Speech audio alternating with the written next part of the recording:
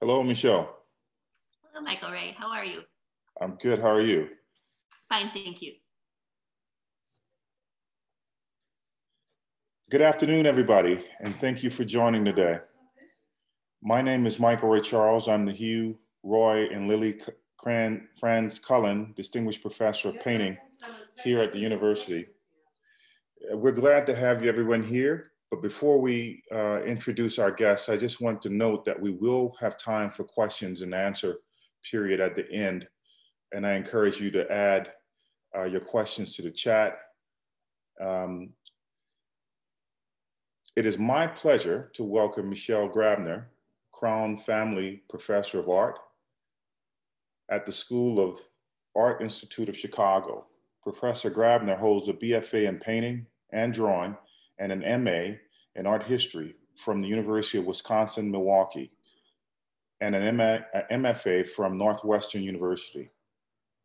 Professor Grabner has had a long and dynamic career interacting with, with the world of art and culture in a range of ways. As an artist, she's worked in a variety of mediums, including drawing, painting, video, and sculpture. And her work has been shown in galleries and museums, nationally and internationally. With over 50 solo exhibitions and more than 150 uh, group exhibitions, she's also had an an active and important presence writing about art of our time in various publications, including Artforum, Frieze, Art Press, Art Agenda, Sculpture Magazine, and X-TRA. In addition to over 20 years, Professor Grabner and her husband, Brad Kilner, Killam, have run the legendary exhibition space, The Suburban, in Chicago, in, two, in 2008, they founded a second space, the Poor Farm in Wisconsin.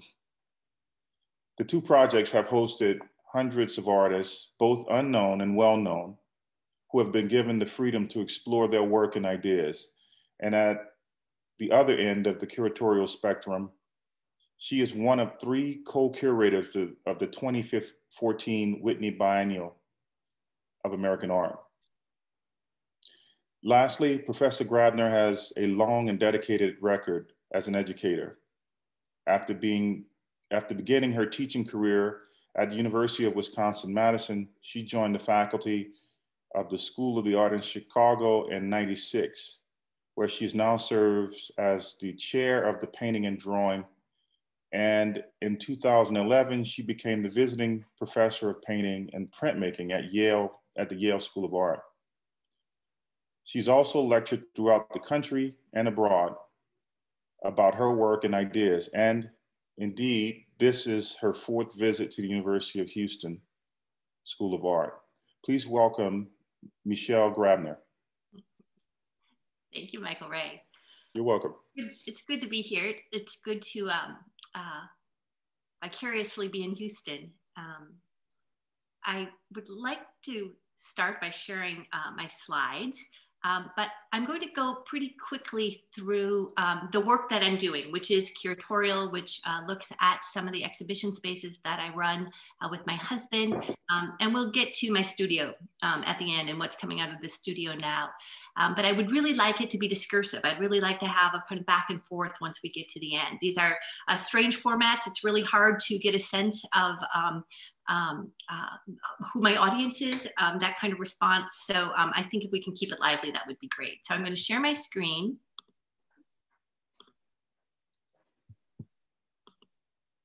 There we go. And I'm going to start out by addressing where I am. I'm actually in rural Wisconsin. So I live in Milwaukee, but I teach at the Art Institute. So I'm moving around. And in rural Wisconsin, we have the exhibition space uh, called the Poor Farm. And we've been running the Poor Farm since 2009. And you can kind of see it if you look behind this project right here, which is a very familiar uh, kind of marker sign, um, but it has nothing on it. Um, uh, this is the artist Paul Druecke. He lives in Milwaukee. Um, and he really plays with the signifiers of information. And in this case, there's no information because many of us don't know what the poor farm is as a history. But if you look behind here, it's very difficult to see. You see this, uh, it's a large building. It's a large institutional building where we host exhibitions. And I'll just walk through some of the exhibitions that we've hosted in the past including the artist uh, um, and painter uh, Monique Prieto. Um, she's based in LA, and Monique was somebody who was very important to me for a very long time, uh, painting in the 80s, thinking about abstraction, thinking about the body. And we invited her a couple years ago to take over the Poor Farm um, and she created very site-specific uh, um, installations in each room. Uh, this is just one example where she's thinking about the idea of not only moons or the cycles of moons, but the abstraction of the circle um, in relationship to color. And you can also see a sound um, element hanging down from the space. Um, somebody who some of you may know, um, Lily Cox-Richards, who spent some time uh, working at uh, the Glassell uh, core program. Uh, she was here very early on. Um, I want to say it was 2010, perhaps, where she was crafting these mushrooms um, and storing them um, in exhibition, uh, in a kind of exhibition space in um, the cellar of the Poor Farm. And then she had mushrooms that also occupied uh, the exterior. In the back of the Poor Farm is a cemetery. So um, without going too deep into what a Poor Farm institution is, um, you know, it was a place where if one did not have a place to go um, in the 19th century, you know, one was actually an inmate at a poor farm. Um, you could not just basically walk the North American continent without means. Um, you know, prior to that, uh, you were could be sold off into a kind of indentured servitude. Um, but the poor farm was based on, think of Dickens, um, the old English almshouses where you worked the farm. Um, and that's what was going on. So poor houses, poor farms are part of that um, uh, European, uh, excuse me, that um, uh, social system. And there's a graveyard behind the poor farm where the inmates at the poor farm um, would be buried. And you can see where, you know, pandemics went through and a lot of people died in 1918. Uh, you can see um, that on the headstones. And anyways, um, um, Lily also installed a bunch of mushrooms um, in the old uh, uh, graveyard as well. Um, other projects at the Poor Farm, a very important exhibition. Um, uh, did a lot of research on the artist Gretchen Bender. Uh, Gretchen Bender is no longer with us. She was very um, prominent in the 80s, um, you know, kind of affiliated with the picture generation um, and would do these large television installations, these video installations, mostly at the kitchen in New York in the 80s. And uh, we basically transferred a bunch of tapes, a bunch of old beta tapes, and started reinstalling it. So this is um, Total Recall. Um, you know, she's really looking at and critiquing media. Um, and uh, kind of capital and conglomerates. Um, so that's what's going on here. Again, these are all televisions, um, you know, multi uh, um, uh, channeled installations. And the current exhibition, if you'd come and visit us uh, now, is by the artist uh, Sky Hopinka. Sky Hopinka is a Ho-Chunk artist. Um, he teaches at Bard. Um, I got to know him as a, uh, he was a grad student at the University of Wisconsin in Milwaukee in the film program. Um, so right now, um, the Poor Farm, you know, hosts multiple installations, including um, um, some new multi-channel videos. These are just some examples. He really deals with language. He deals, of course, with Native identities as well. Um, it's a really beautiful exhibition. In addition, uh, upstairs are uh, we installed a handful of these photographs that he's been making. And these photographs, you can, if I walk you through them, you'll be able to kind of understand how they're made and what you're looking at he's basically taking photographs of transparencies of landscapes that are overlaid on the bed of an overhead projector, right? So we can understand that kind of overhead um, uh, white frame. And then he scratches in, you can kind of see at the bottom there, he scratches in some text as well. Now I'm going to just close the screen for a second. We're going to, so that's the poor farm. The poor farm um, is interesting. I wanna say one thing about the poor farm um, I'm very happy to actually uh, be able to tell you that uh, the Poor Farm is now going to become a regranting agency for um, the Warhol Foundation. So we're going to be giving uh, um, Warhol uh, support uh, to Wisconsin artists, the first in the state of, the, of Wisconsin. So it's quite an honor to be uh, to be able to um, support artists that way as well, in addition to giving them exhibitions or working on publications. Um, so as I said, the Poor Farm has been moving uh, along since 2009.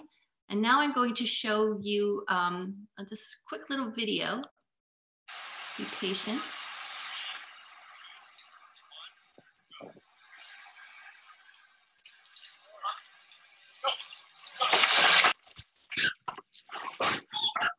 Right.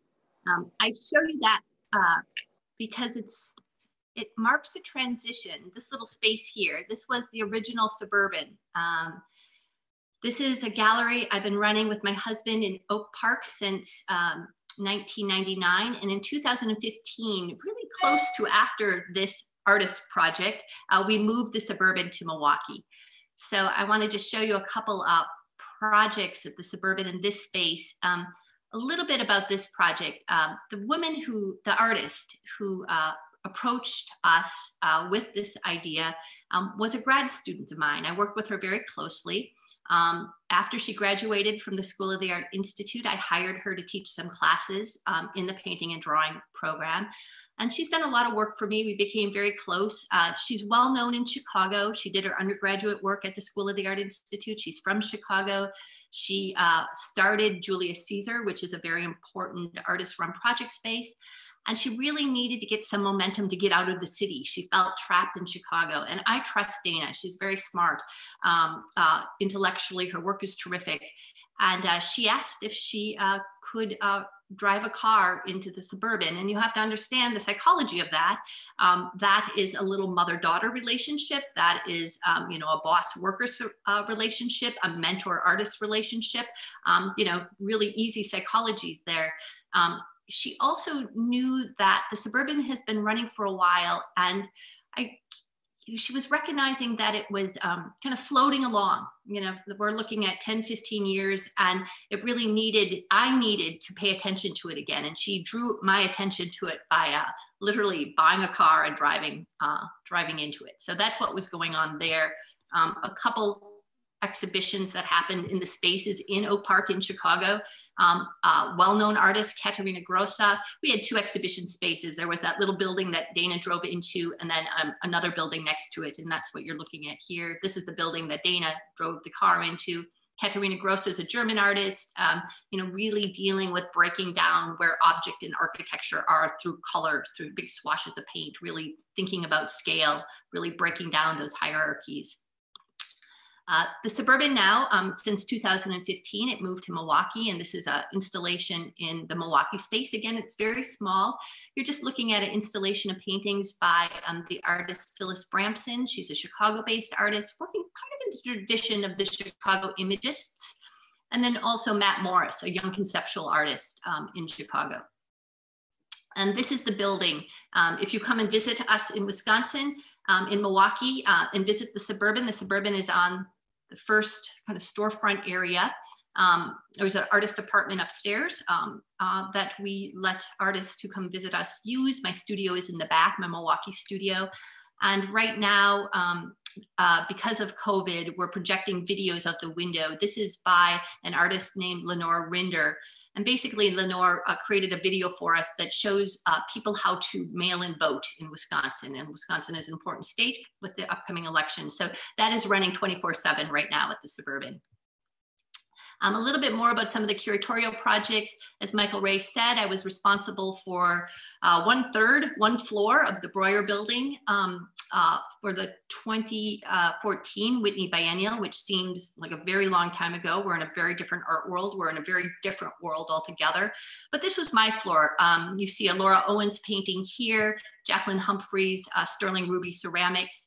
Um, you know, we can talk about that if you want. You know, it is an exhibition that could not be put together. Um, um, the, you know, the artists that I've selected, the whole configuration of the, the 2014 Whitney Biennial is an impossibility given, um, you know, the culture that we live in now. Um, in 2018, I was asked to be the artistic director of a new triennial that um, um, was launched in Cleveland, um, but it also included Akron and Oberlin. So it was a regional exhibition, and I commissioned many artists. It was a really um, extraordinary opportunity. Um, when you're curating the Whitney Biennial uh, or other high profile exhibitions, it's still rare to get a chance to work with an artist to commission a new piece.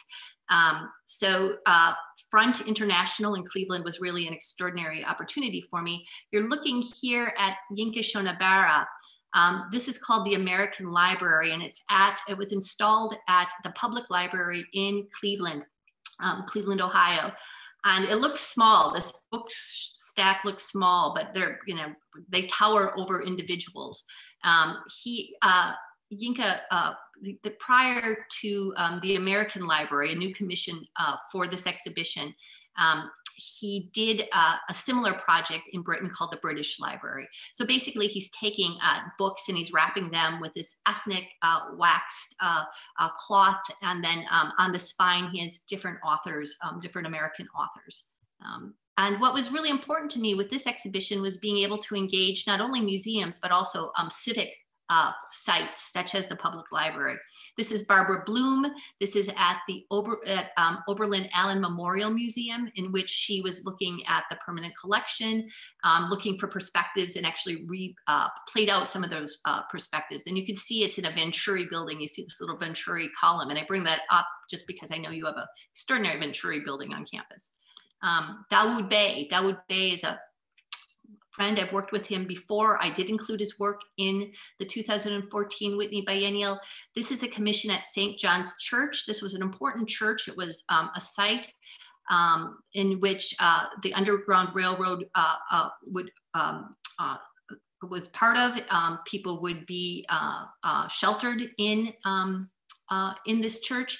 And for Dawood, who is a photographer, and it's very hard to see here, but he suspended these photographs and they're dark photographs and it's landscape. Dawood Bey, if you know his work, he uh, is known for his portraits of individuals.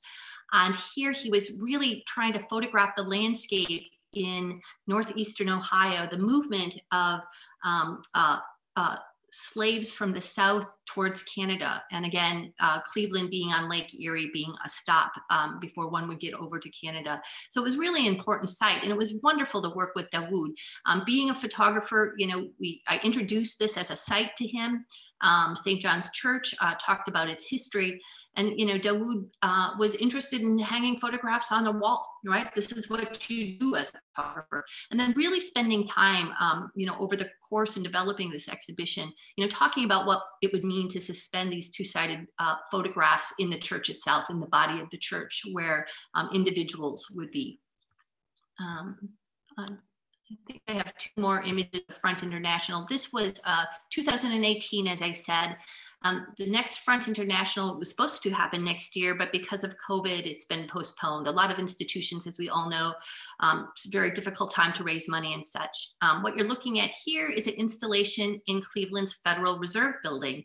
Um, this is by the artist uh, Philip Vanderhyden. It's a multi-channel video that really looks at abstraction and capital, how um, it's, uh, you know, he's, he, if you over the course of the kind of video um, and the pulsing of um, the soundtrack, you see um, signifiers of wealth gold coins and other kind of signifiers. And as it kind of rotates and turns, it's really this interesting critique of capital right at the house, right, right in the Federal Reserve. So that was a kind of wonderful thing. And be, again, working with another civic structure. Um, and then finally, uh, two more examples of work that I was able to uh, commission. Tony Tasset's very large hand that works as a pavilion, um, and then uh, Kay Rosen, um, um a, a, a, a, mural um, in downtown Cleveland. So that was a really terrific project. That was a nice follow-up to um, to uh, the 2014 Whitney Biennial, particularly being able to work with artists. I'm right now working uh, in Milwaukee on Sculpture Milwaukee, which is an annual exhibition that brings sculpture to downtown Milwaukee. Um, and I'm so proud to have this piece. This is by the artist uh, Thomas Price. He's a Black British artist who makes these very large monumental size figures um, of, uh, of, of, black figures. There's one um, of a woman um, that was just installed in a park in the east end of London. And uh, we have this figure here. It's great. Um, and it also stands in front of um, a banking building and really speaks to the lack of diversity uh, in a certain kind of industry, but also in a, a signifying piece of architecture in Milwaukee. It's a really beautiful piece. Um, this is Tony Tasset again. This is his Blob Monster, and I installed Blob Monster, Monster in front of the federal building in downtown Milwaukee. Um, Julian Opie, this is an animated uh, piece. Again, it's all along uh, Wisconsin Avenue for the most part, which is our, uh, the city of Milwaukee's kind of main um, intersecting downtown. Um, you know, and like many um, former Rust Belt cities, um, you know, the downtown is relatively depleted. So how do we get to um, energize and to think culturally about um, our city? So that's what's going on there. Um, like I said, it's an annual exhibition. Now I'm going to kind of quickly go through um, my own work. Um, as a means of introduction, I'm showing you an installation of a painting, one of my paintings, and a cast bronze work. I'll show you more cast bronze and cast iron work at a Mies van der building in the suburbs of Chicago. Um, and really thinking about domesticity, um, thinking about modernism, um, uh, particularly with Mies, thinking about the um, uh, uh, the porousness of the structures, the perpendicular qualities um, of his glass uh, buildings for the most part. Um, gingham is something that I've engaged in quite regularly as a motif, gingham being something that's, you know, terribly recognizable. Um, you know, I, I, came to gingham by looking kind of intently at uh, tablecloths of Bonnard paintings and thinking what gingham would mean if I would bring it into the 20th century and flipped it up and made it flat. Um, it's still absolutely recognizable, right? We cannot not think about, you know, Target's I don't know, spring launch, um, you know, men's shirts. Um, you know, gingham is prosaic. It is everywhere. It migrates uh, in, uh, it migrates um, economies. Um, it's just everywhere. And uh, to be able to think about gingham, not necessarily as a cultural signifier, but thinking of it as an abstraction, a grid structure, um, is something that I'm really um, continuously interested in. So that is a motif that I continue to work on in the studio. This little funny object that you see down here, there's some uh, uh, rolled up uh, crocheted blankets that have been cast. Some other work, again, you're going to get a sense of repetition, which is very important. Um, dependability uh, that comes from repetition is more uh, important than ever. Um, and also the relationship to the domestic, that which is in uh, the everyday. It's within our vernacular purview, um, things that we encounter. Um, and, uh, you know, if we slow down enough, we can appreciate the regularity. Um, uh, we can appreciate the dependability of them showing up, um, you know, in our fridge when we open the door if we're thinking about egg carts egg cartons. So these are cast uh, uh, ironworks that I made at the Kohler factory in Sheboygan, Wisconsin. Um, I continue to do work for them. I'll show you some examples of further work that I have um, engaged in, um, but this is just some some work that uh, I did there. Uh, these are large scale uh, bronze works, um, again, based on the vernacular crocheted blanket that probably, uh, that we all know very well, that probably lays over the back of our couch, um, and thinking about uh, what that means um, when they're cast in bronze. I would use um, the template uh, of the blanket pretty regularly as um, a pattern for painting. And so all of these blankets that I have accrued over the years, what did I do with them? Um, in this move from Chicago to Milwaukee that happened in 2015, um, you know, I could either, you know, dump these uh, um, blankets that, you know, given over their pattern to paintings in the dumpster, or I could cast them in a lost wax process in which the, uh, the blanket itself would be burnt out in the process. So kind of a monument to not only um, a painting process, um, but also to uh, domesticity to women's work. You can imagine all of the, um, again, relatively obvious signifiers that come with that. The project that I'm working on now is at a new museum um, in uh, uh, Sheboygan, Wisconsin. Um, the John Michael Kohler Art Center is there. The John Michael Kohler Art Center is becoming more and more well known. It collects artists' environments and um, visionary artist environments or outsider artist environments. And uh, the woman who runs the John Michael Kohler Art Center um, decided to build a new museum um, that will open next year, and it's called the Art Preserve, where all these environments, um, you know, full houses, full interiors of these outsider artists were recreated or are recreated, and the work is installed. So I was commissioned uh, to uh, do um, a room um, there as well. And you're just seeing an example of all of these tiles. So I've been working in the Kohler uh, uh, factory, both in the ceramic area, which we call um, pottery, and in um, cast metal. So you can see, I think I have a detail. What you're looking at here are I'm hand building, slip casting all of these tiles, which, you know, tiles are, again, vernacular. You can pick them up at the tile warehouse, but I handmade each one of them, uh, hand decaled uh, the gingham tiles, um, hand built, again, a lot of these other relief tiles. And then these are brass tiles that I cast. Um, so you can get a sense of uh, the kind of relief, this kind of all over pattern. And in juxtaposition with uh, this room, um, I'm going to, I'm in the process now of slip casting all of the elements um, um to a custodian cart um, that will be in juxtaposition. And uh, there's a long story behind there. It has to do with my work at the Kohler factory and encountering, encountering um, and enjoying my conversations with the people who actually come into the very dirty studios in the foundry and kind of ask what you're doing. Um, you know, uh, this one woman, Yenny, she was from Honduras, and having long conversations with her, but also within this factory structure being terribly discriminated against. So it really is a kind of a dedication to um, those who take care of us, who um, a kind of maintenance, and then in Wisconsin dealing with um, uh, you know the problems of immigration. Um, now, uh, this is the studio. Remember I showed you the outside of uh, the Suburban um, that yellow building uh, with the projection in the window. Uh, this is my studio um, right now. I'm working um, not there. Um, I'm working in uh, rural Wisconsin, as I was saying, and I'll show you that the studio that I'm in in just a bit. Um, but uh, I do go back and forth between Milwaukee. I have a, a daughter who's still in school uh, there remotely, and she gets better connection when we're in Milwaukee. Um, so, anyways, uh, this is what you're seeing. I've been working on these very strange.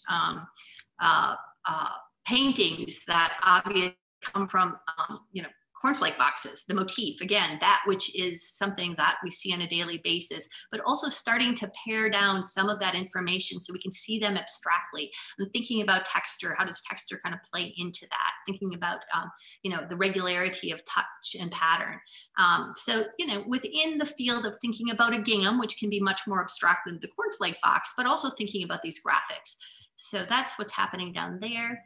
Um, and the studio that I'm in now in rural Wisconsin, um, you know, just down the lane from the poor farm, um, you know, is a small studio. I share it with my husband, and I'm, I've been working on these paintings um, since uh, we uh, encamped in March, when my school shut down, when the School of the Art Institute shut down, my family and I, you know, came up here to um, the cottage that we have and to the poor farm and to the little studio, really thinking about, um, you know, what kind of painting does one make now? I can continue with cornflake boxes. I can continue with thinking about gingham. I can continue thinking about some of the other motifs I evolved over the years.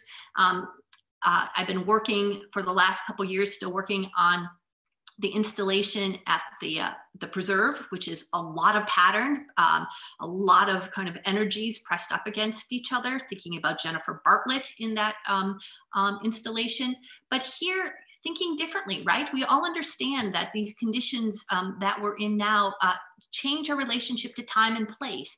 And how do I respond to uh, pattern, um, to regularity, to dependability, um, to repetition within this new condition of time?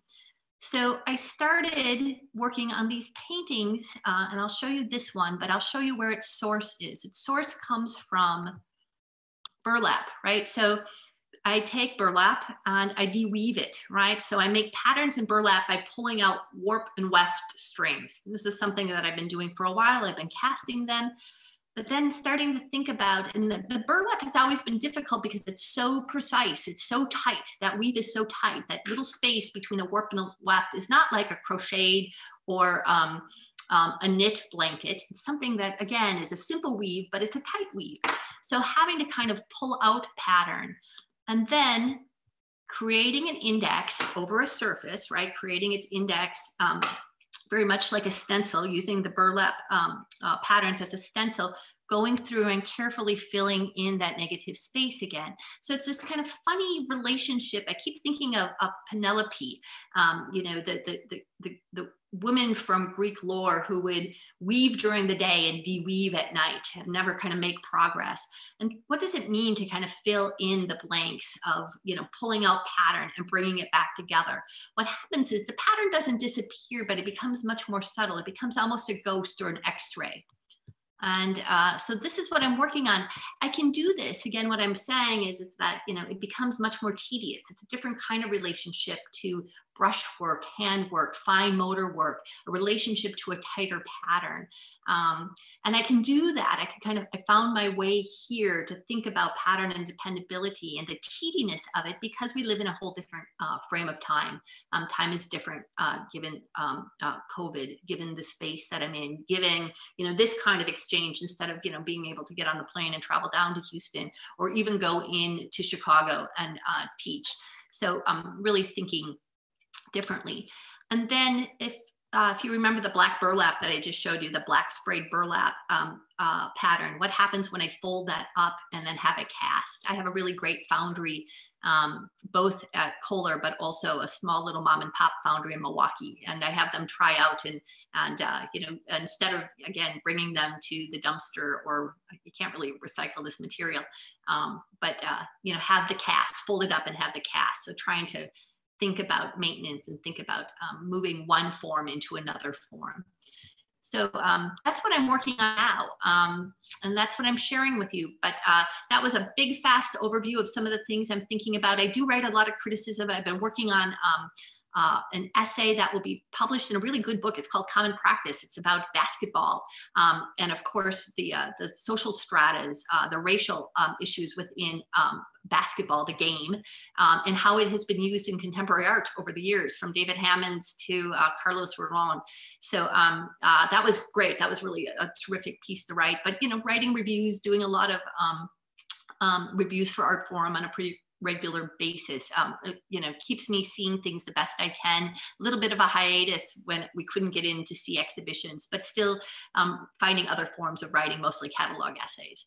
Um, but that's kind of the overview of the work that I'm doing. I'd love to take questions. I'd love to talk about, you know, how and why and what our mandate is, what our obligation is to to make shifts, to pivot within um, a culture that uh, you know brings us so many unknowns um, I think that is uh, the question that um, you know I ask you. But um, um, yeah, let's uh, let's take some let's take some questions, Michael Ray.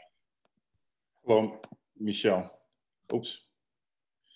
Um, I have one question. First of all, can we show the video once more? And and I'd like you to repeat or frame exactly what you um, what you just said um, going into the period of questioning.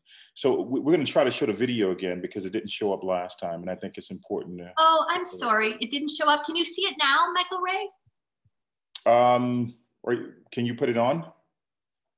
Yeah, it's on my screen. Hold on a second. Let me. Uh, okay. I, I know what I can do here. I did this last time. I think I just have to share screen again. Sorry about that, everybody. Um, can you see this now? Yes. Okay. It's very short. Again, I apologize to everybody. Um, let's, here we go.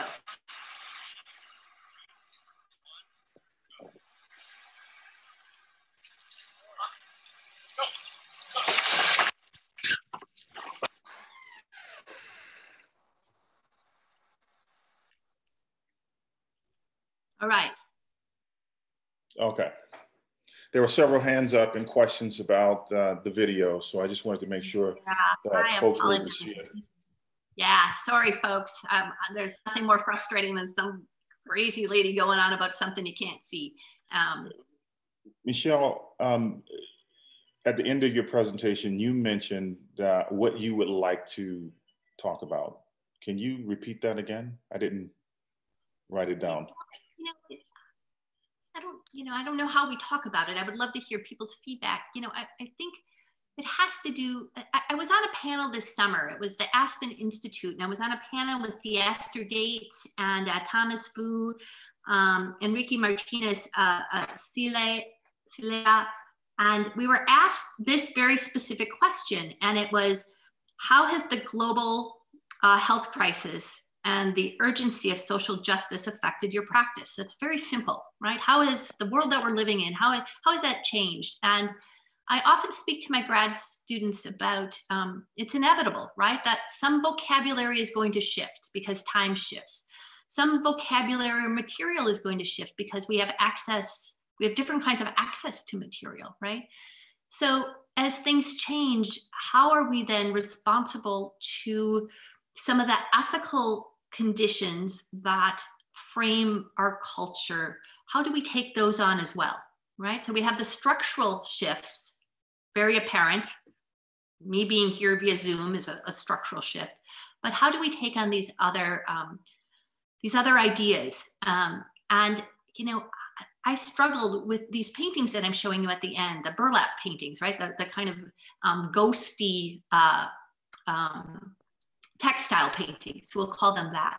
Um, you know, they still have difference in them. Not one can be exactly alike, but they're all homogenized as well. So that's the question. I'm sure um, Michael Ray, you know, I, I know you're thinking about that. Erin's thinking about it. Um, yeah, yeah. You know, before I go into the next question, I just wanted to say um, amazing work. And, and I'm particularly fascinated about the burlap um, paintings because of um, the presence of the human mark in those paintings. You work within certain restraints, but you make present and evident the validity of, of um, uh, the human mark in, in a period where so much art is is leaning towards or moving towards the incorporation, the use, and even uh, the, the aesthetic of technology. So uh, that's my, my take, but I'm gonna go to, we have a question. Um, I'm gonna go to questions here. Um, we have a question. It states, um, I would love to hear what you're reading these days and also what you're having your students read. Yeah, no, that's a, that's a, a good question. So um, the last couple uh, uh, last couple graduate seminars so i'm teaching one right now and i usually teach one in the spring um, i've been really doubling down on uh, interpretation and formalism um, formal critique. And you know i think i am so responsible as um, many of us in school. Um, you know formalism is not um, about taste. We often reduce it down to taste. You know, that red is something that I like, so therefore that is a. But but form is so much more than that. And I say this. and I said it to somebody this morning that form is always about order, and order is always political. Right? How do we put things together? How do we take them apart? They all have potentially political ramifications. And so, really thinking about form and um, the best formal critique is coming out of um, English departments um, there is a, a, book, it's a little bit older, it's 2015, and it's called Forms, and it is by an English professor um, at Cornell. She was at the University of Wisconsin, and um, um she, she left the Ivies, and um, her name is Carolyn Levine. Carolyn Levine is uh, somebody I keep very close. She's written a lot about art and democracy prior to her interest in forms. And I'm going to go on a little bit of a tangent because I, I should have talked about this uh, when I was talking about my, my work. And how the idea of uh, repetition is important, but how we're really changing up the game in terms of what we, we, what we think about um, in, in terms of uh, form forms right? So i was talking to somebody this morning about the whole right? The idea of the whole w-h-o-l-e you know the whole was something we wanted to take apart. We've been taking that apart since um, you know postmodern discourse kind of took hold here. We dismantle right? We uh, we take apart um, we uh, deconstruct right? Because we know that the whole is uh, contained and there are some people within the sphere and some people outside of the circle, right? If you think of the whole, not everybody can be part of the whole. So it had power, it had authority. So we took it down, right? But now, when we're thinking, uh, when we're in a culture of such great partisanship, the idea of the whole unifies us. We still acknowledge that not everybody can be part of it, but it is uh, starting to think about things that you know the idea of the universal you know well, that's a hard thing to say we can't really talk about the universal because there's no such thing um, but when we start thinking about these bigger containers, they really help us. Uh, I feel, this is her argument, and I, I support this, they help us start seeing um, the interdependency of difference, how difference can be held together. And that is something that is important in, uh, in the conversations around form or formalism. Or Fred Moten is talking to Julie Mehretu on, um, oh gosh, what night is that? Uh, Thursday night this week about color, right? Um, the form of color and how political that can be. Um, so uh, I'm I'm I'm reading form. I'm reading about formalism um, right now. Long answer. Carolyn Levine. Um, the, the book is called Form and it's 2015. Okay, we're going to go to our next question, and, and that is um, how are you able to, do, to be so prolific in your own art making while being a writer, professor, running a nonprofit space?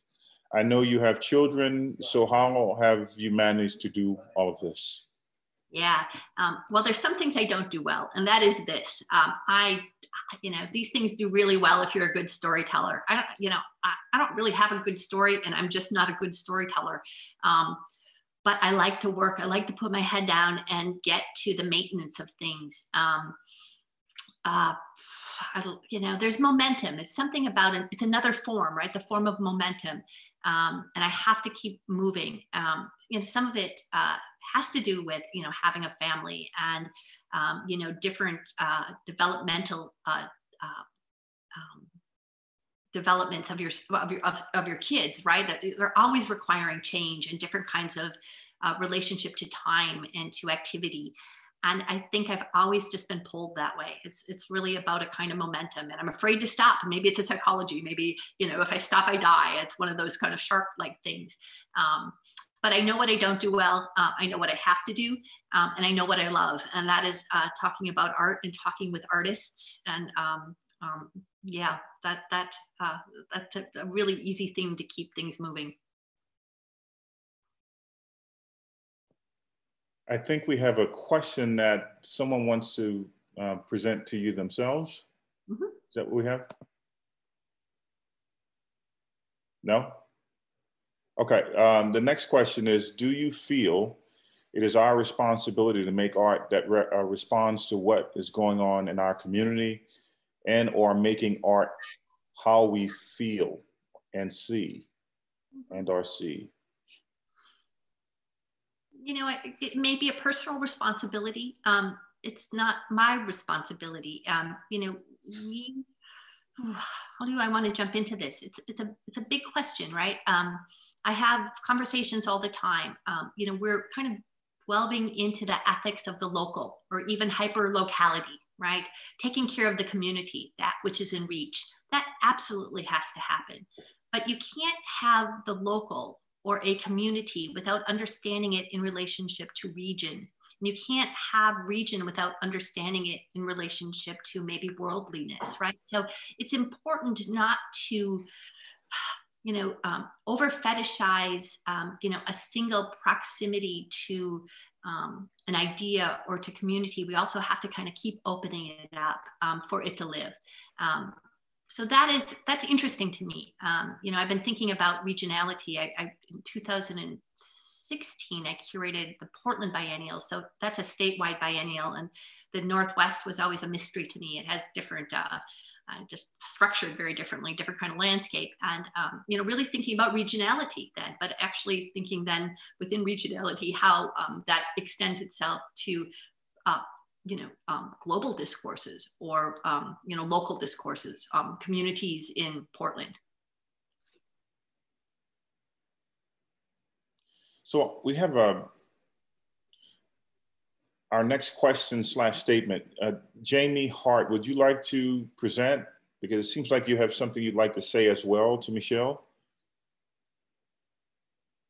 Can we get Jamie to present her question?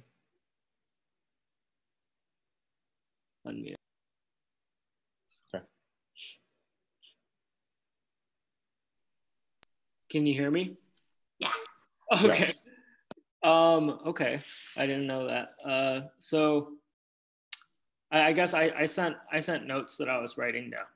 Writing down, I guess. But I just wrote um, things that you were saying that made me think about how dependability and repetition are like in some ways in which minimalism can now be understood as relevant in the face of a loss of the consistency and structure. And then you talked about time. Mm-hmm. And I was wondering what connections exist between time as a structure, or to you, what connections exist between time as a structure, as this consistent everyday structure, the everydayness of it, and then the consistency or reliability of cornflake boxes and burlap. And then wondering if the use of the cornflake box is like a form of therapy for the loss of structure of time, or maybe it's an echo of the loss of structure of time in some way. And then, especially thinking about returning to something like that as an answer to the or investigation to like the larger questions that you're thinking about in terms of this giant structural shift currently, like getting into the micro specificity as a way as like the only way to think about this grander thing. Um, yeah. I don't know if that is. Yeah, that's a lot, Jamie. Let me um, um, let me take a stab at it and then circle, pull me back in when I, you know, uh, don't address some of those questions because they're all all, all good um, and all complex. Um, so uh, so if, if, let's just take a, the, that cornflake box I showed you. We, that one you guys all can recall. Um, so if I am in art school as a young impressionable person many many decades ago now, let's say that 80s, that cornflake box represented a relationship to abstraction, to commodity. It had a relationship to pop, right, to Warhol. Um, but it was also, I keep thinking of Arturo Herrera, somebody who I went to school with um, in Chicago, and really thinking about how again, um, you know, a little bit of high and low being played out, right? The low form of, uh, you know, that which is vernacular found, and thinking about bringing that to a place of abstraction, right, which has a haughty, uh, um, uh, you know, uh, deeper intellectual engagement with how we think about things. So I always was drawn to that which is within my socioeconomic uh, uh, framework, which is very middle class, very Midwestern. Um, and looking for uh, you know abstractions and thinking about conversations and, and critique right within those things. So now if you think about that corn box uh, cornflake box what i'm talking about and what you picked up on jamie are relationships to the everyday where it came from. Some of that criticality that was always there or is built into my you know art, artistic dna um, you know takes not front stage, but backstage. I can still say it's there to a certain degree. The more I make, the more kind of Warholian they'll become, the more kind of play on value they have. But right now, you heard me talk about them as a kind of dependency, a knowability, right? In a world that there is so much unknown, so much fiction or just darn right lies being perpetuated, um, you know, through the kind of uh, you know um, dicey attachment of social media that the dependable kind of fixture in your kitchen cabinet on a daily basis gives you something to hang on to. And so i'm talking about that now with um, uh, because that's the world we're living in. So so you're right. So time um, relationship to knowing unknowing what do i need to get through the day? What do i need as a stable ground before i can step into uh, my zoom graduate seminar and talk about abstraction. Um, you know, I need that kind of dependability um, that's coming from there. So you're right. Um, you said it wasn't um, cathartic uh, therapy. I think you used the word therapy. Um, yeah, and to some degree, I think that is right. The um, you know the groundwork that one needs, uh, that familiarity to hold on to, to push through into the world that is just there's so much unknowns um, is a, probably a kind of uh, therapy. And again very different that's almost the other end to the kind of criticality uh, that um, you know uh, painting cornflake boxes or graham cracker boxes that i did in 1988 um, you know uh, had a different kind of relationship but you know culled from the same thing the same kind of um, you know objecthood they have the same kind of objecthood as well. Um, so uh, that that's one answer to some of your questions. Yeah, I think that was great. Thank you. Thanks. Uh, we have another question from, uh, well, negative here. Uh, the question is, what role does representational painting have in 2020 and in the near future? Yeah, uh, I talked to a couple uh, of you this morning. We talked about uh, genre, right, and how genre theory is uh, right back in the academy, and and you know, genre makes a lot of sense right now. And I put together an exhibition, um, the ICA in Maine on genre. Um, genre is something we can all, for the most part, I mean, it may not be universal, but genre within uh, the art world, uh, you know, we can default to the simple still life portraiture and uh, landscape is knowable. We can agree on that, right? We can agree that that's a landscape with trees, but then we can interpret it as an expressionistic landscape or, um, you know, a, a, that uh, landscape that just has a straight ver- uh, verisimilitude, um, you know, we, we can then go into a different kind of interpretation that reflects our own individual understanding of what that is. Um, so genre is important, but when it, as an organizing structure. But when we think about figure painting right now, you know, you know, I, I, I, always go back to Kerry James Marshall, um, a conversation I had with him in Chicago not too long ago, and it's about that right? That um, it makes sense to me why we are a culture of transaction right now, where um, in in a, in a place in which fiction and, and lies and expanded truth um, permeate uh, how we navigate um, our political world, um, particularly, but the everyday, that a transaction means that we're not getting screwed, right? Um, I will give you this if you give me that. It's very clear, right? It's very clean. And uh, I want to I want to think about transaction in relationship to representation um, uh, or figure painting, or was it realism? Michael Ray, what, what was the question? Was it was it realism? Was part of the question? It was representational art. Representation. Thank you. Representation. Right. So, um, uh, what is representational? So, so making sure it's clear. Right. So, an example I used this morning was the profound amount of figure painting that depicts black bodies and spaces.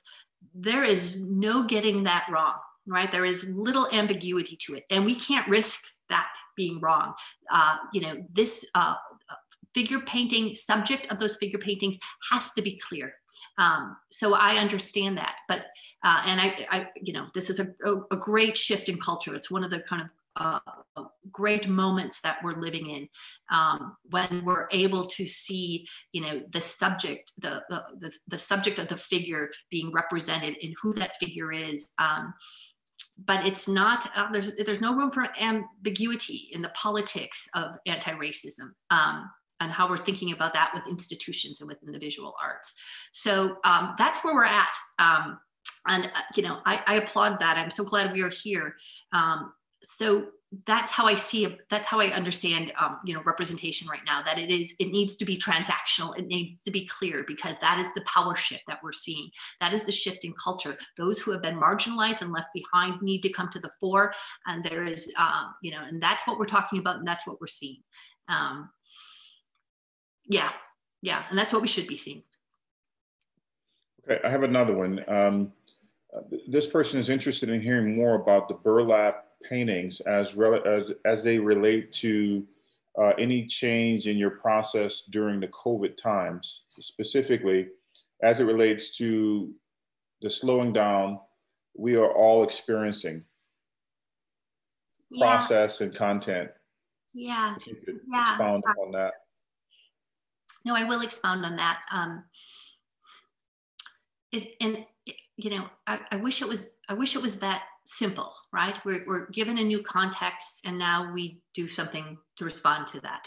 Um, you know, but we carry along uh, a relationship of what we've done before, right? Um, uh, you know, I'm still invested and will remain to my death invested in abstraction and repetition um, uh, and repetition's relationship to time and its dependability and, and everything I've talked about. Um, so I have to pull that into the condition that we're in. And that was hard. Let me tell you that, um, you know, being up here in, you know, snowy, cold March um, and thinking that at uh, 57 years old, that coming around to painting and creating a new motif in painting given these new conditions should not be difficult. I should be able to go to the studio and find that place. And it was a struggle. It was a material struggle. It was a scale struggle. It was a, a, a struggle around color. Um, you know, I went from full spectrum down to, um, you know, a, a, field of gray. And, uh, you know, I, I, just kept every every night when I went to bed, I just said, why is it so hard? Like I've given over so much of my life to, uh, you know, not only you know, um, analyzing, loving, looking at painting and making a painting that this shouldn't be difficult. And it was. Um, so lots of trial and error. And, you know, I would say that only in the last month have I felt that I've hit on a process and of material um, that, that can work. And it is about a tediousness. Um, it is about, again, I, I am using a tiny brush. I've never used a tiny brush. Um, and, you know, to fill in that, you know, minuscule space between the warp and weft, that little space in burlap, to be able to, um, you know, fill that in with a touch of titanium white paint. Um, you know, it takes freaking forever, but I have forever. Uh, I have a different kind of relationship with time. So it gives me the opportunity to think about um, tighter, um, uh, uh, a, a, tighter, um, more precise, um, more intimate uh, relationship to um, uh, what pattern is, what pattern can be. It was Michelle, rough. Yeah. when you cast your crochet blankets, you spoke about them referencing feminine, femininity and domesticity. Do you feel that the metal casting and the metal work is more traditionally masculine craft or a masculine craft? And does it change the presentation of the female craft and softness and I'm sorry, softness of the piece of the work? Yeah. Yeah, yeah. No, this is a this is um where again I'm I'm very very simple. And this is uh I like to play with dualities. Uh, you know, um uh, I like to play with uh, uh false equivalencies, right? So yes, um, there is a kind of a, a, a traditional um, uh, gender split going on, but there's also this person who asked this question is perfectly aware that there's also hard soft, right? There's uh, the process, right? I am, I sit here and I'm making granny squares right now because I need to do that to, to help me think and cognate. Um, so there is that kind of work versus, you know, entering into, um, entering into a, a foundry, right? Um, the paradox of a lot of uh, uh, uh, just to speak a little bit of the bronze piece that was the tall um, bronze work with the kind of points on top you know basically i'm taking a textile into the foundry and i dip it in wax right? If anybody knows lost wax process i take this thing it stretches it's hot i can they're as tall as my body and i'm a very tall person um, and uh, it's fast and it it becomes hard and it gets cast. Like that process is as it's quicker than charcoal drawing right? So there is that play between the tediousness of me making knot after knot after knot with a crochet and then the quickness of it being a fixed form and then more labor being uh, on the back end of um, the ceramic shell being made and the uh, the ceramic shell being burnt out and the, the, going through that whole process. So um, it's a very good question, but it also points to much of my work, which deals with these, again, kind of very false dichotomies. This is a way of knowing the world. I know it's not true. Black and white is not true, but they help me navigate, right? They help me with the complexities and the subtleties if I have these markers. And this is what we have to do. Every day we get out of bed and we say, this is what's true today. But we have to be aware that tomorrow we get out of bed and we may have to remake what is true and uh, so I'm what you're seeing in a lot of the work are these uh, um, again uh, um, dualities that I work with as guides uh, to you know uh, to get into abstractions and get into the difficulty of thinking about time and thinking into uh, thinking about abstraction. Um, you know what is just? That is a crazy thing. Um, you know uh, uh, these are deep questions that probably don't really have great answers so you need these parameters. Before we go to our next uh, question which um, uh, I think this person is going to ask wants to ask you personally uh, I have a quick question, and and that is about process. Can you can you talk about um, uh, questions that take place during the actual exploration that's uh, a part of abstraction. So often than not, as image makers, I, I think we, um, we get caught up in the idea of what art should look like, uh, not necessarily what it should feel like, but what it should look like, what has been validated within the canon, what has been validated uh, within close proximity um, and values associated or attached. And, and you stated uh, earlier that I thought it was so important. Uh, you spoke about taste mm-hmm. and relationship to, to the formal uh, critique. And, and I don't want to put words in your mouth. So you, can you talk about the process a little bit more? Because there's a lot of abstraction that's being done, but in some cases, the um, uh, it lacks the kind of energy necessary to evoke thought, uh, to promote or evoke an emotional connection with and to its viewer. Yeah, yeah. Um, yeah, you know, this is why I teach classes on um, interpretation and critique. And, and again, coming out of the literary tradition or literary critique, that always helps me out. They do a really good job thinking about different forms of uh, interpretation, um, you know, whether it's excessive interpretation or mood interpretation or post critique. Um, you know, it's so rich. Um, but again, I think I like your question a lot, um, Michael Ray, because, you know, we don't what we do is and, and, you know this everybody in the professional world will you know encounter an abstraction and you know the person that's representing that work let's say it's your gallerist you know will tell the story about you. You know this is this is a lady who's in wisconsin and she runs exhibition spaces and she teaches at the school of the art institute. And you know unless we're you know the academy or again literary discourse you know I don't see us doing the hard work of doing the deep interpretation. This goes back a little bit to transaction, right? So, you know, we go to the Met and we give $25 because we don't live in the borough and we expect to be told what we're seeing, right? We, we read that text on the side. Um, we just have gotten really lazy at doing um, interpretation. And um, uh, you know, the uh, abstraction is difficult. It's always been difficult. And because formalism or uh, formalism has been kind of reduced as, um, you know, not interesting. It doesn't get at uh, what is called the hermeneutics of suspicion, uh, that deep excavation of telling you, Michael Ray, what's in your work that you don't even know. I'm just going to do the deep work and tell you what is there that you have no idea. That is fascinating to me, but that's not the only way of taking something apart. I can take apart you know everything from graphic quality to again uh, you know color uh, texture surface scale all of that can have multiple uh, you can open that up and find you know deep uh, relationships to the social to the political um, but we have to be willing to take that chance and go there and you know we i don't you know we do that in critique right? We all host these critiques.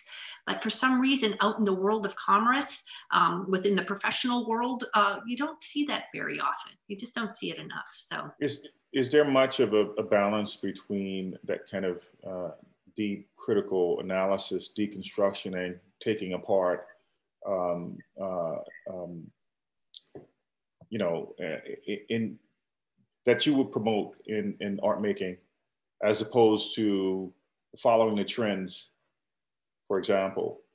Because so often, so often the trends are, you know, can provide a space for people to gain access into uh, a realm of more visibility. Yeah.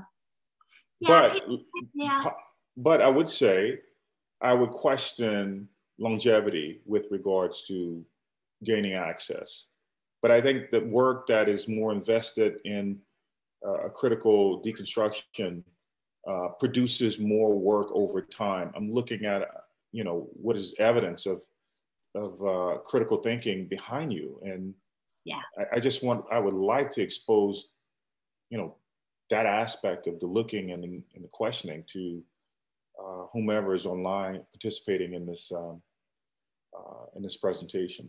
Yeah, and you know, I have the long arc of seeing as I was, you know, giving the example of the cornflake box over time, that you know, one kind of discourse and interpretation in the late 90s, uh, late 80s is very different than the interpretation we have now. It changes, and we as artists have to be willing to allow for that change to happen. So, you know, it's never fixed in time. Like that, you know, the I don't know, the the graham cracker box painting that I made in 1991, you know, I I have to continuously understand its new meaning in the new context that we live and i have to speak to that. It doesn't it's not fixed.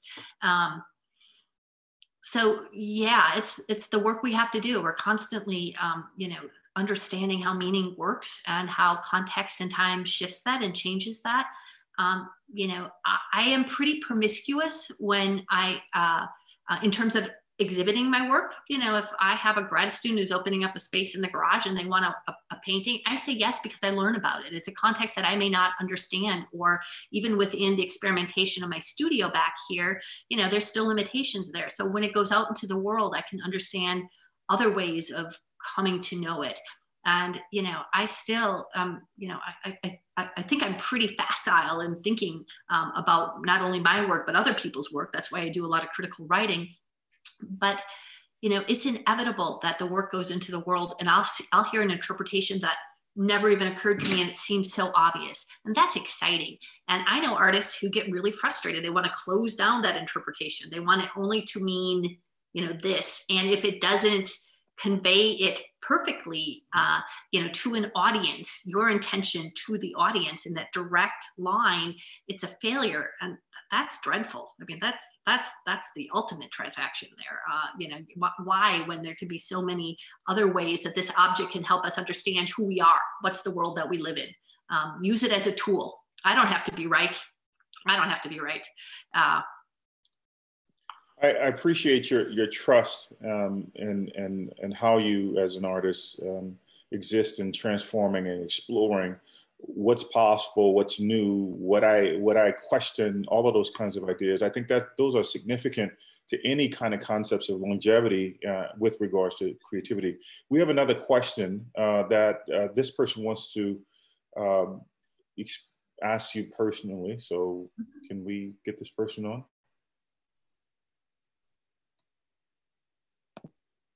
Doug Walsh. Go. Uh, can you hear me now? Okay. Um, hi, thank you so much for your time and, and for um, sharing everything that you did. My question is just in thinking about your discussion of dependability and objects having dependability, um, what are the three most essential things in your studio um, they could be created works or just things that you use to make other works or objects collected. Wow, that is a super hard question. Um, hmm, hmm, hmm. Dependability. Uh, wow. Um, yeah, I don't know. It may be more. That's so. That's so interesting because it feels like I'm, I'm being caught up a little bit because I'm talking about you know the you know, the, the nameable, priceable dependency of a cereal box. And then when I think about the studio, you know, I, all right, um, uh, yeah, uh, it's, I'm, I'm, going to have to answer it um, not by what is in the studio, but what supports the studio. And you know everything in the studio, I think you know it's tools. Um, you know I take care of them. I'm very neat. I'm very organized um, that helps me, uh, uh, you know, uh, be able to kind of focus and, and, and, think. But you know, this goes to a privilege, and I'm, you know, I, you all need to know that I sit here in a very privileged position. Um, first of all, I'm an artist who made it this far. Um, and you know there's no taking that away from me now. And i know many young artists it's tenuous right? It's it's a tenuous scenario because there are so many artists in the world. So i emerged out of a different condition. I have a teaching job. I am grateful for my teaching job. It gives me dependability. Um, you know the world of labor and work not great right now. Um, so I have that. I have a family, and I have, uh, you know, a, a, husband, and I have my kids. You know, like them to a certain degree, and they like me to a certain degree. But uh, you know, if if it all goes bad, they will have to love me, and I will always love them. And those are foundations. Those are just conditions of um, uh, social institutions and work that um, I really need to be able to sit down and for 12 hours paint little white dots on uh, a, a uh, on a linen support. Um, and if I don't have them, I, you know, if I, I, didn't have that other kind of support, I wouldn't do that. So I, I can't answer that question except by pointing to, um, you know, the grateful institutions that are outside of the studio that allow me to be in here. And the tools in here are, are important and I care for them and I explore with them. Um, but, uh, but that is how I have to answer that question. Sorry, Doug we have another question. How have your drawings changed since COVID?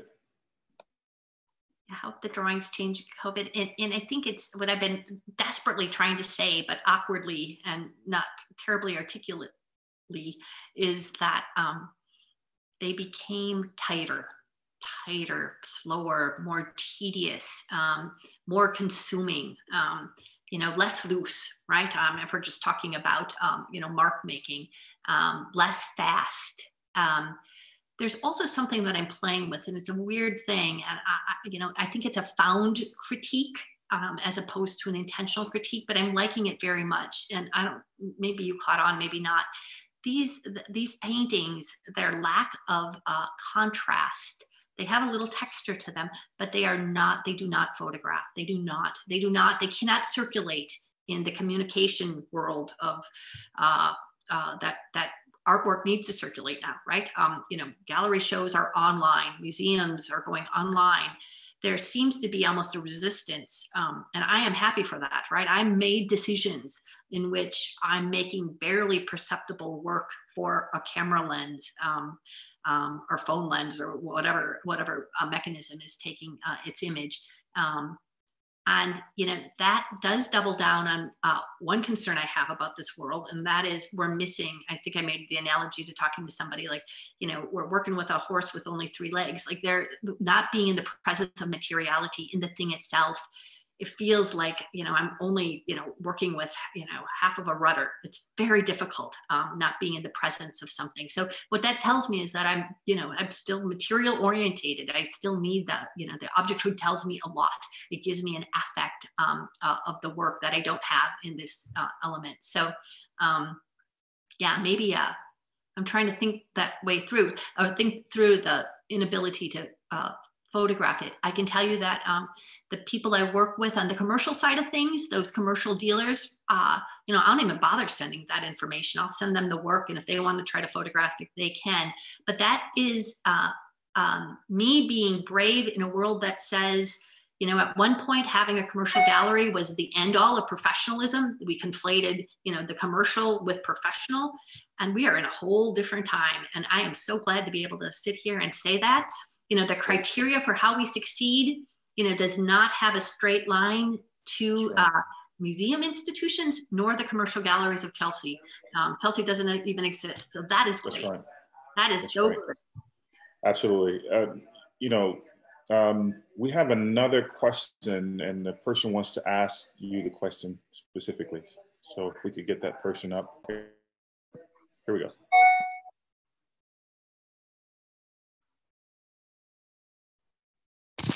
Um, hi, uh, actually, you already answered my question. It's the question below me.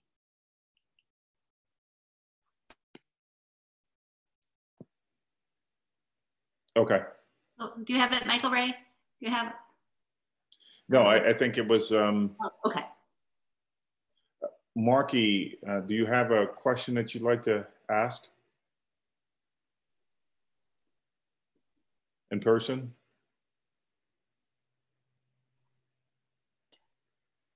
Can you hear me? Yes. Hi, Michelle. This is Marky. And uh, you talked about your casting of these kind of like the piles or folded up woven blankets or the thread pulled burlap. And, you know, I imagine if they're folded up, they create this network of pores or porosity, which is really a kind of an irregular pattern or repetition. And I was just wondering if you'd ever made a derivative casting of that new porosity that you created. I'm just kind of thinking about, you know, porosity offers like repetition and pattern and uh, pathways and derivatives offer sort of an element of time each time you do something, uh, you know, re- repeat it. And I, am just wondering if you'd ever, you know, think about your patterns like that with that time element. Yeah, no, that's that's interesting, and that is you as a, a scientist uh, actually um, coming to the fore. Um, not not in those specific ways, Marky, but yeah, I think in a kind of um, art, you know, whatever the equivalent uh, thinking in terms of uh, pattern and alignment um, or disalignment um, happens within, as you were saying, um, you know, folds. So, you know, I think the cast work that you're referring to, particularly the folded cast work, the either rolled uh, crocheted uh, forms that you know were a little hard to see in that installation shot in the Mies van der Rohe building, but even at the end, that kind of relatively flat folded burlap. I mean, that compresses itself in a way, and you know the process itself neutralizes a lot of um, uh, what the kind of specificity of surface to a certain degree. Um, but it's the representation of a whole. Like one still knows it's folded fabric, even though the kind of net the uh, metric uh, of uh, pattern gets collapsed, right? Um, sometimes I don't want to say moire happens, but a, a, different kind of pattern will emerge um, as well. Um, you know, I think I'm much more simple than your question, and that uh, uh, is such that um, if one thinks about the many, many gingham oil paintings, which really have a tooth to it, you know, they it's it's just the material world. This is a cliche. I'm, I'm giving you a cliche, a, a real cliche, and that is that you know even though you know the pattern the measuring the math um, you know is always precise or as precise as you know uh, one can be you know the material of uh, the paint or the breakdown of my brush or the pressure of my hand will always make you know the same painting different it's just a material a materially different thing and the same thing with casting you know the, i showed you strangely enough and i didn't talk about it but i think you picked up on it and that is that piece at the end, that weird, I, am not quite sure how I feel about it, but the folded burlap piece, that comes from a mold. I've never made a mold before. I always have burnouts, right? One offs. Um, so now I have this mold and, you know, the mold will be different to a certain degree. Um, but uh, yeah, trying to think about all those things. Um, and that's why I need my cornflake box to think about, you know, the variation, that subtle variation that you're talking about and how different it can be and how different, you know, meaning can be evoked by just a subtle shift and you may be the only one who sees that subtle shift. I mean, that's what's really paradoxical. Um, you know, when one sees, uh, I don't know, lines and lines and lines of cornflake boxes, you know, I know where they're all different, but you know, for the viewer, the casual viewer, um, you know, it's like they they have a, a similarity to them, and that meaning that comes from difference doesn't doesn't emerge. Thank you. All right, our next question. Um, is Houston is often compared to Chicago in terms of its ever rising yet always somehow behind position uh, in relationship to New York and LA. You spoke already, you spoke a bit about focusing on the local. What can you say more about what you'd recommend students to focus on who are committed to staying and working in a place like Houston. A, a wonderful place, I might add. Yes, it is a wonderful place. Um, yeah, you know, I, will give you, I'll give you my example. So, so Chicago and Houston have been compared, and and in in the, uh, let's say, pre 2000 and I don't know 16 world when we talked about economies in the art world that were uh, ridiculously um, flush. Uh, you know, in Chicago, we'd always say, uh, you know, Houston just has more money. You guys have the oil money. Like there's a greater exchange. The the you know, we have galleries in Chicago, but you know, most of our collectors will go to New York to buy work. Like we just don't have, we never had that. Um, so we always, you know, Chicago, Houston, from our side, it was always about, um, you know, uh, where your industry comes from, right? Thinking about economy. Um, but to scale, I think, you know, we're, we're scaled particularly um, similarly. Uh, you know, Chicago, Chicago is different than Houston, and I'll, I'll just explain Chicago. I moved to Milwaukee because I because Chicago um, drove me nuts, um, and it drives me nuts because it should have all the freedom of not being New York, you know, not being the, you know, uh, what the the vertical cultural center of uh, the United States, and it should have the freedom of playing around with its second city status. Um, you know, it should think differently. And, you know, the people with cultural power in our city always doubled down on Chicago looking like New York. It wanted to, it could only succeed if it kind of used New York as a template. And that drove me crazy. Um, so I moved back to Milwaukee. I, you know, Milwaukee I was familiar with because I went to uh, undergrad there. And Milwaukee is Milwaukee is almost the reverse. I like live uh, so I love Chicago now that I don't live there, and now that I live in Milwaukee, I like it a little bit less. It has small town thinking to it. Um, so this is you know this is a paradox I think we will all deal with. Um, uh, but yeah, I think every place, um, you know, will give you some challenging conditions and things that you will love about it. Um, you will uh, want to know how you can uh, contribute to a community, whether it's a cultural community, a political community, a you know, real uh, neighborhood block community. But more importantly, you know, it has to be a place that will allow you to be able to be a, a, a citizen um, and an artist at the same time. Um, so that means, you know, Milwaukee was, I was able to, you know, Milwaukee's a lot less expensive than Chicago to live. I could not afford a studio in Chicago. Um, Milwaukee, I could do that. And uh, that was important to my work at that time. That was one of the reasons why we moved, um, just because I needed to have uh, the, the space to, to be the artist that I needed to be. And I had to change my relationship to what, what, it, what I need, what I am in Milwaukee is very different as a citizen, as a contributor to culture is very different than my contributions to Chicago. Um, and, you know, equally frustrating, um, but that's just what it means to be in a society. Yeah, so stick, stay, stay around Houston. Houston's, Houston's terrific. And as the cultural centers are unaffordable, just unaffordable, you know, be in a place that, uh, um, you know, you can afford to do the work that you need to do. Don't let them tell you that you need to, you know, have five jobs to barely pay rent. Do we have any more questions? Comments? I think we have a hand up here. Or was that an earlier hand up? Emily? Do we have a question?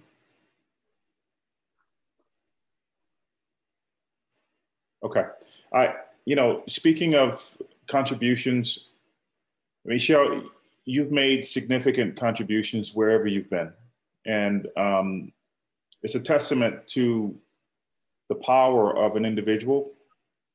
And I think it's you, you are a shining example of what the future should look like uh, in terms of uh, creative production in the arts. I think you, you inspire me as well as so many of the, the comments we've had uh, from, from um, uh, questions that were posed and the, the idea that you you're you're standing in the middle of being able to express yourself in different ways. The challenge for much of many of us as as educators i think is to how do we nurture the arts? How do we create um, the, the future to step into um, uh, the space of an unknowing yeah. and, and, and a space of being. And I think you've done it so well.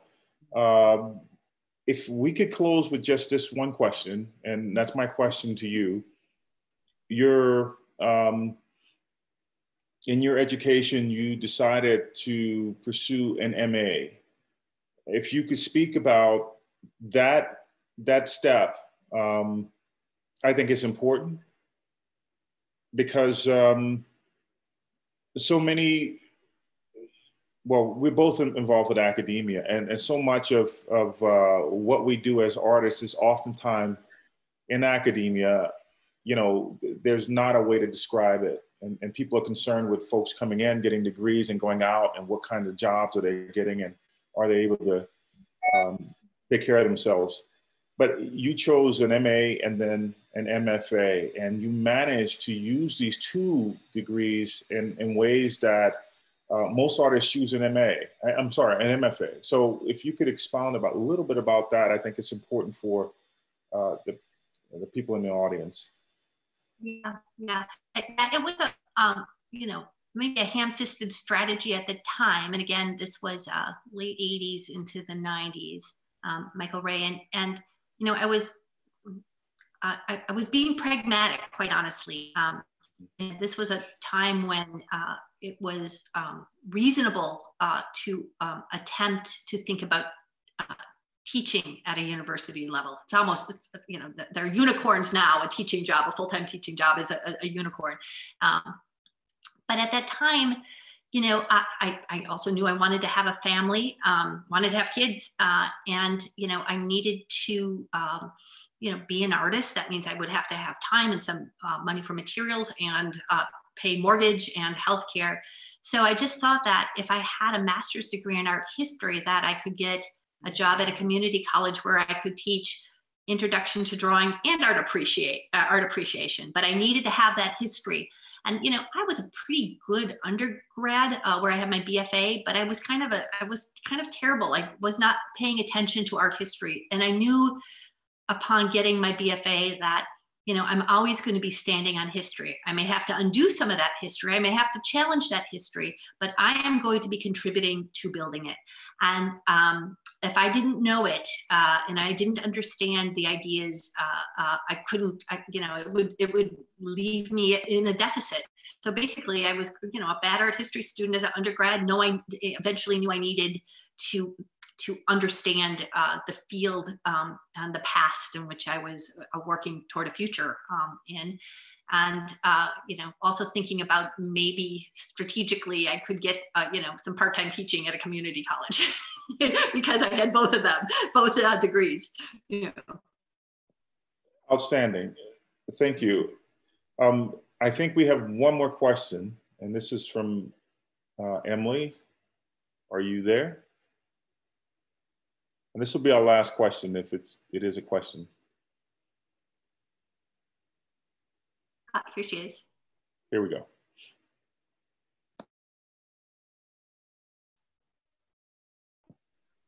Hey, go Emily. Ahead.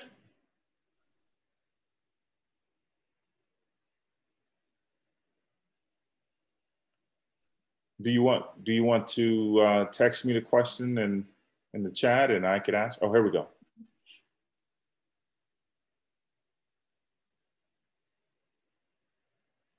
Your volume is off. Molly, I think you're muted.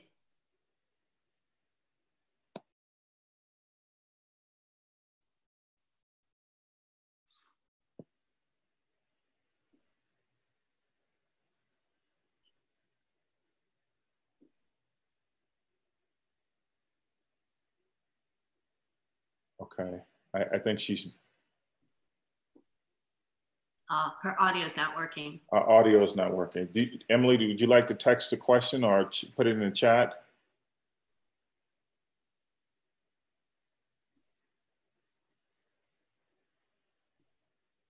Okay. We'll, why don't we just, um, we'll wrap up here, but I, I, would like to say on behalf of uh, our students, our community here at UH, uh, thank you so much. It's an extreme pleasure uh, to have had you uh, visit us, and it would be great to have you back in the future. So much insight, so much uh, information, um, and, and, just evidence of, of how you've um, you've your trajectory as an artist and a scholar. Um, I can't thank you enough. So continue much success at what you do, and uh, again, you inspire. So thank you. Uh, thank you. Thank you. Nice to meet you finally, Michael Ray. And uh, thank you, Karen. And uh, soon, I hope, in person. Yes, of course. Bye-bye. Bye, everyone.